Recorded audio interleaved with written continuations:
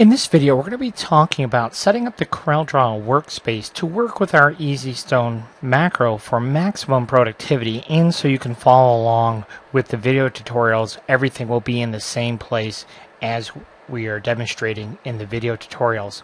Now I am going to be using CorelDRAW X6 in this demonstration. However, CorelDRAW X5 would basically be almost identical. There are a few minor differences. Um, when we come across those, we'll cover what those differences might be.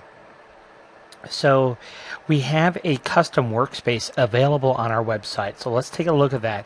If you go to easystonetemplates.com, click on the Rhinestone Design Shop, and then we're going to click here uh, in the freebies and instant downloads.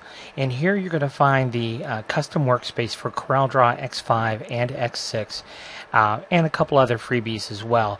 I'd go ahead and take advantage of all of those uh, as long as you're going to request that download. I'll go back into CorelDRAW here. Now I did mention we're in this video demonstration we're going to be using CorelDRAW X6, the 32-bit version of CorelDRAW, and this is very important because EasyStone only works with the 32-bit version of CorelDRAW X6. And for those of you who aren't aware, anyone who purchases CorelDRAW X6 um, and is using a 64-bit computer, you do have the 32-bit version as well, and you can install both versions on a 64-bit machine. It's a bit confusing because when you uh, install CorelDRAW on a 64-bit machine, it doesn't give you the option by default to install the 32-bit version because it assumes being how you're using a Windows 64-bit machine that you want to install the 64-bit version. But if you look on your install CD or if you look in the files that you downloaded, if you got a digital copy, you will find a folder on your install CD that says x86 and in that folder will be another setup file which will install the 32-bit version of CorelDRAW. So that's very important. EasyStone only works with the 32-bit uh, 32-bit version of CorelDRAW. Now, one other point to make about the differences between 32 and 64. Really, as it relates to rhinestone design, there really isn't much difference, if any. If you are on a Windows 64 bit machine, technically speaking, you can have more than 8 gigs of RAM on your computer. If you're not using a 64 bit machine, then the RAM capability caps out at only 8 gigs. So if you're using a 64 bit machine and you have more than 8 gigs of RAM, there is an advantage to using the 64-bit version of CorelDRAW, technically speaking, because it can access all that additional RAM that you have installed in your machine. So let's say, for example, you have 16 gigs of RAM. Well, your uh, process when you're working in CorelDRAW would happen much quicker than if you only had 8 gigs of RAM. But this is only really true if you're using a very heavily uh, intensive graphic in CorelDRAW where you really see much a significant difference. As it relates to Rhinestone Design and easy stone, you won't see much of a performance enhancement um, if you were using the 64-bit version of CorelDRAW. And so that's why we as developers decided we're just going to support the 32-bit version of CorelDRAW for the time being. Now, perhaps when it switches over to CorelDRAW X7, we'll take another look at that, um, supporting the 64-bit version. But for now, 32-bit version only of CorelDRAW, but you can install the 32-bit and 64-bit side by side, not a problem. Okay, so let's talk about setting up the CorelDRAW workspace. We've created a custom workspace for you.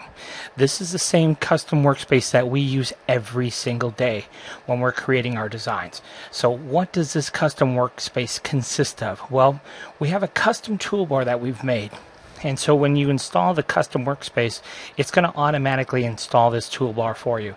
Now, I want to point this out because this is not something that we created. Yes, we created the, the layout of the icons, but all these tools that you see across here in this this toolbar here, these are CorelDRAW functions, not an EasyStone function. So I just want to make that distinction. Um, over here on the far right, however, you can access all of our various macros that we use. And as an EasyStone version 3 user, you'll have access to these macros as well. And we'll talk about that a little bit later. So this is all CorelDRAW stuff. And then over here to the right, you'll see these Dockers. Now these are the most commonly used Dockers that we use. So you have the Object Manager, the Macro Manager, the Contour, the Shaping, and the text properties.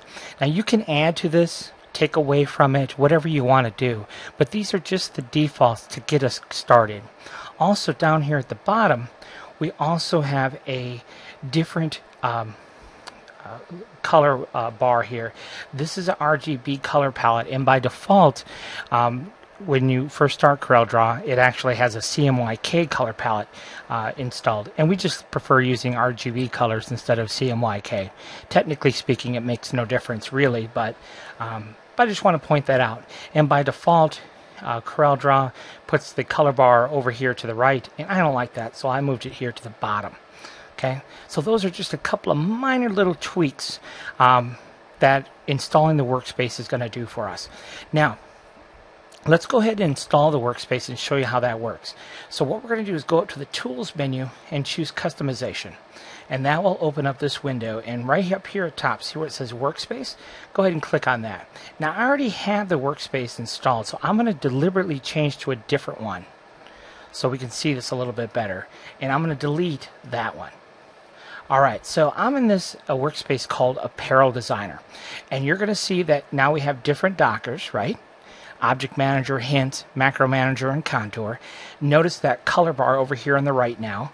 Um, and notice that our, our Rhinestone toolbar is now missing. It's not uh, automatically installed for us. And then we have this other toolbar up here, uh, which is a custom toolbar for this apparel designer from uh, Advanced Artist, I believe.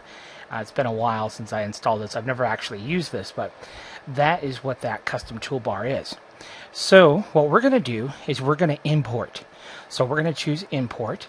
And I've already saved this custom workspace file. So I've downloaded the zip file from um, the shopping cart, saved it to my desktop. I unzipped it, and then I have this workspace file on my desktop. So I'm going to choose browse and there it is on the desktop. It's right here. It's called EasyStone Workspace.xslt.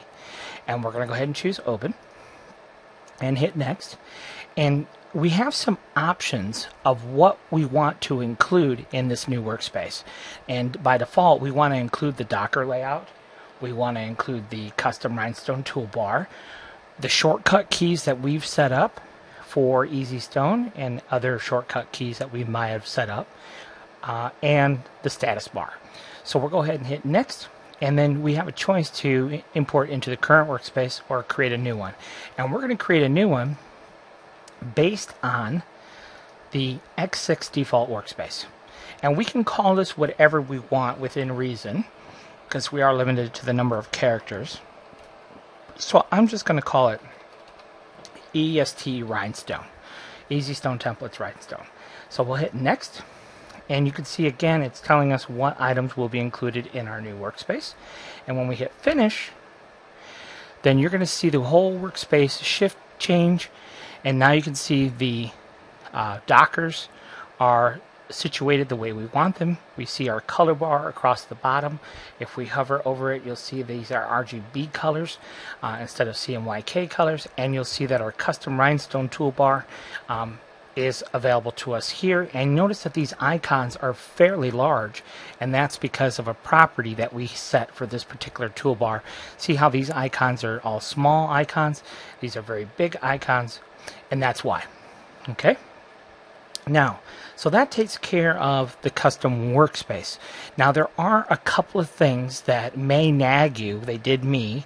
Um, and we're going to walk through those things step by step um, because they're kind of uh, buried and hidden here that many of us don't even know that exist.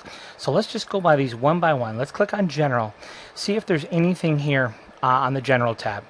Um, there's really nothing to change here. I, I like the welcome screen. Some people don't. And if you don't, we can start a new document by default or any of these other options. So I, I like the welcome screen though. So then we'll go on to display. The only thing that I would encourage you to check, if it's not checked, is auto panning. Um, that is, I don't think that's checked by default, but I do like that. And we can talk about what that is later. And then on the Edit tab, uh, we have some additional options here. Look through these. I don't think there's anything there. Here we will make a small change on the power clip frame. Now this will be specific to CorelDRAW X6 um, because they made a change and down here there's an option here it says show lines in empty power clip frames always or on the screen only and this we want to check on screen only and again that is just for X6 users um, it's a small change um, we don't want an X to be printed or exported um, if we have a power clip okay if you don't know what a power clip is, that's okay. We're going to explain that later too. Alright, so snapped objects. Um, all these are checked by default, so I think these are all okay just as they are. Um, we'll come down here to uh, dynamic guides here. I don't ever use dynamic guides, so we'll move on. Um, alignment guides, I really don't use that. VBA, that's always fine. Save. Now this is something that we do want to make a change to. Auto backup when uh, I'm going to choose every five minutes. You could change it to whatever you want. Um, the other thing that um, does annoy me quite significantly is this option make backup on save. Uh, and so I don't want to choose that option. So we'll go ahead and get rid of that option. And then the power trace plugins, we'll go ahead and leave that alone. Let's see here, toolbox. I don't think there's really any changes to make there. Let's look at our document here. I don't think there's any real significant changes that we need to make uh, with any of these options. And that's it. I think those are all the... Um, there actually there is one thing on the background here print and export background I would actually turn that off um, and that would be the only other change to make that I would make in in these initial settings. So we'll go ahead and click OK. And now those settings are changed and then we would choose save settings as default so that the next time uh, we come into CorelDRAW all those settings are still available to us. So those changes will get us prepared uh, to work here inside CorelDRAW with EasyStone